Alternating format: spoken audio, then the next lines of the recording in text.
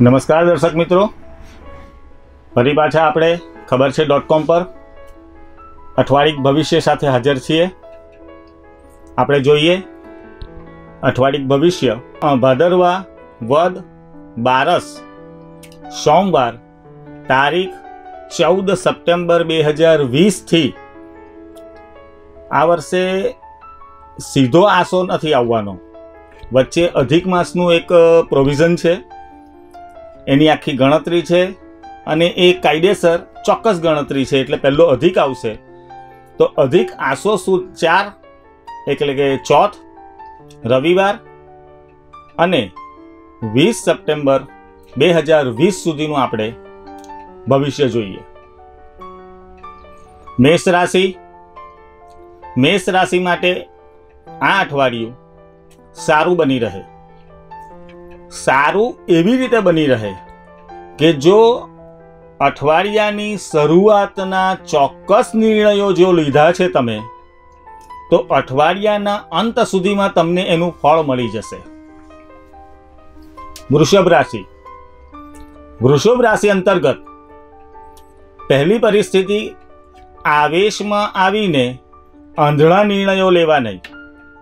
નહીકર અઠવાડિયાના અંત સુધીમાં તેનું ખરાબ ફળ પણ આપણને જોવા મળશે. વિરોધીઓથી સાચવવું. મિથુન. મિથુન રાશિની પરિસ્થિતિમાં સ્વભાવ પર કાબૂ રાખવાની જરૂર છે. અન્યથા, ખર્ચનું પ્રમાણ વધે, નિર્ણયો ખોટા લેવાય અને સાથે સાથે તમારી લાગણીનો દુરુપયોગ થાય, આ પરિસ્થિતિ પણ તમારે સહન કરવી પડે. કે ભોગવવી પડે. કર્ક રાશિ. કર્ક રાશિ અંતર્ગત મોજ, શોખ, મનોરંજનના પ્રસંગો બનશે. સાથે સાથે એવી પરિસ્થિતિ પણ આવશે કે જ્યારે આપને નિર્ણયમાં ચોક્કસ અવઢવની પરિસ્થિતિ જોવા મળે. તો તેવા સંજોગમાં ખોટા નિર્ણયો ન લેવાઈ જાય એટલા માટે અંગતની સલાહ લઈને આગળ ચાલવું. સિંહ રાશિ. સિંહ રાશિ માટે. આ થોડો વિમાસણ કે ચિંતાનો અઠવાડિયું છે. માનસિક પરિતાપ, માનસિક ઉદ્વેગ, શું કરવું, શું ન કરવું, એ પરિસ્થિતિ ચોક્કસ આ અઠવાડિયા દરમિયાન આપને ઘણી બધી હેરાન કરે. સાથે સાથે અઠવાડિયાના અંત તરફ જતા જતા તમારી ચિંતા ઓછી થશે. કન્યા રાશિ. કન્યા રાશિ અંતર્ગત જોઈએ તો બુધ અને ચંદ્રમા ખૂબ યોગ્ય બેઠા છે. બુદ્ધિગમ્ય નિર્ણયો લેવાય, પરંતુ ખોટા ખર્ચ ન થઈ જાય તેની ખાસ કાળજી રાખવાની છે. અને ખોટા ખર્ચ બાબતમાં એક વસ્તુ અહીંયા તમારે ખાસ નોંધ કરી લેવી કે જરૂરિયાતની વસ્તુઓ કઈ છે અને બિનજરૂરી વસ્તુ કઈ છે, જો એ બે વચ્ચેનો તફાવત તમે ન સમજી શકો કે ન તારવી શકો, તો ચોક્કસ તમારા આવક કરતા જાવકનું પલડું ભારી થઈ જશે. તુલા રાશિ. દાંપત્ય જીવન સંબંધી. દાંપત્ય વ્યક્તિને કંઈક તબિયતના પ્રોબ્લેમ હેરાન કરે. જેમાં પણ થાક, ચિંતા મનના, મગજના દુખાવા, આ બધી બાબતો થોડીક હેરાન કરશે, જેમાં કાળજી લેવાની ખાસ જરૂર છે. વૃશ્ચિક રાશિ. વૃશ્ચિક રાશિ અંતર્ગત કામકાજનો સમય ઘણો સારો છે. કામકાજ માટે કોઈ બીજો બીજો ઓલ્ટરનેટ ગણો, વિકલ્પ ગણો તે નથી. એટલે મહેનતથી જરા પણ હરવું નહીં. બીજી એક પરિસ્થિતિ, કોઈના દોરવાયા દોરવાવાનું નથી. તમે તમારા જાતના નિર્ણયો લો અને આગળ વધો. ધન રાશિ ધન રાશિ અંતર્ગત જોઈએ તો, હાલની પરિસ્થિતિમાં તમારી પાસે બે વસ્તુ આવે છે.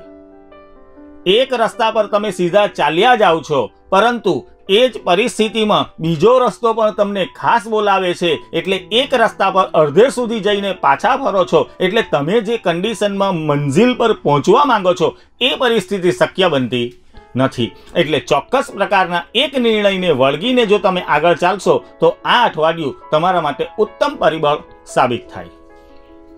મકર. મકર રાશિ અંતર્ગત તમારા દુશ્મનોનું પ્રમાણ વધે.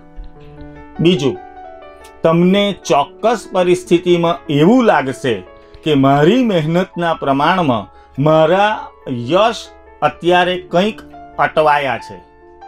ફળ મળતું નથી. કારીગર હથ નીચેનો વર્ગ આપનાથી વિપરીત કંઈક વિચાર કરી રહ્યો છે. મકર પછી આવશે સીધી કુંભ. કુંભ રાશિમાં ગ, શ શ શ. કુંભ રાશિમાં એક વસ્તુ ખાસ યાદ રાખવા જેવી છે. દાંપત્ય જીવન અને તમારા વ્યાપાર ધંધા ઉદ્યોગમાં જો ભાગીદારીના કોઈક સંબંધો છે, તો તેમાં વાદ વિવાદ, ખટરાગ, માનસિક પરિતાપને વચ્ચે લાવ્યા વગર એને શાંતિથી નિરાકરણ કરશો, તો ચોક્કસ પરિસ્થિતિમાં આ અઠવાડિયું તમને નુકસાન નહીં આપે. મીન રાશિ. મીન રાશિ અંતર્ગત તમારી પાસે બે પરિસ્થિતિ છે. તમારી લાગણીના દુરુપયોગ થાય એવું તમને ડગલે અને પગલે જણાશે. સાથે સાથે તમારા ઉપયોગ થયા પછી તમને સીધા કચરાની ટોપલીમાં નાખી દે છે એવા અનુભવ પણ તમને થવામાં આવશે. સાથે સાથે વિદ્યાર્થી બંધુઓ માટે થોડોક નિરાશાજનક સમય છે. એટલે મનને વધુમાં કાબુ વધુ કાબૂમાં રાખીને થોડીક પરિસ્થિતિ મુજબ વધારે મહેનત કરશો, તો જે લોકો, જે વ્યક્તિઓ, જે વિદ્યાર્થીઓ બહારી પરીક્ષા આપી રહ્યા છે, તેને ચોક્કસ પરિસ્થિતિમાં ફાયદાજનક યોગ બની રહે. તો આ હતું આપણું અઠવાડિયાનું ભવિષ્ય. શ્રાદ્ધ પક્ષ ધીમે ધીમે પૂરો થઈ જવા તરફ છે અને અઢારમી સપ્ટેમ્બરથી અધિક માસ એટલે કે રાધા પુરુષોત્તમ માસ શરૂ થાય છે. દર્શક મિત્રો, નમસ્કાર. ફરીથી આવતા અઠવાડિયે આપણે ફરીથી પાછા મળશું. નમસ્કાર. જય માતાજી.